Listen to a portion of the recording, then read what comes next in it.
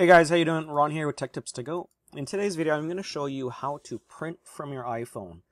So right now I'm running an iPhone XR, and let me just get into it right now. So in order to print, it's quite simple.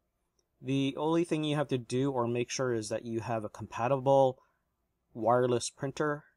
And for me, my best choice recommendation is a, is a Brother printer. I'll leave a link down in the description on Amazon of the printer I have.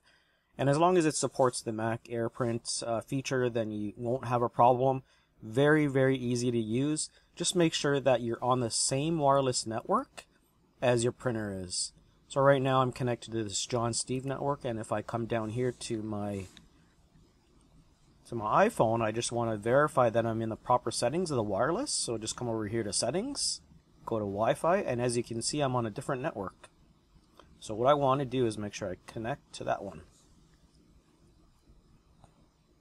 And there you go. So now let's go back to the home page. And let's say we wanted to print this, or let's say this was a PDF or some kind of document or some kind of, maybe it was an email that you wanted to print. All you need to do is come down here, this little icon, click on it, and as you scroll up, what you can see is the print button. Now when you press print, it'll come up with some options. Now you want to select the printer that you have. And as you can see, the supported printer, now I didn't have to do any uh, download of drivers or anything. My iPhone automatically detected that this brother L2550DW was on the same network and it had a compatible Mac printer driver. And that's the beauty of Brother. You don't have to download any drivers on your iPhone.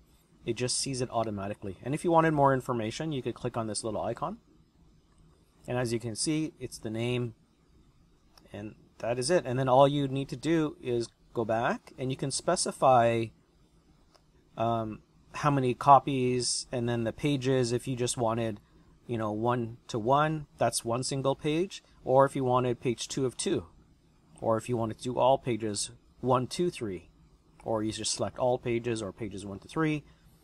And then after you've done that, sorry, first you select the printer, and then once you have how many copies, um, always make sure that this is set to single-sided,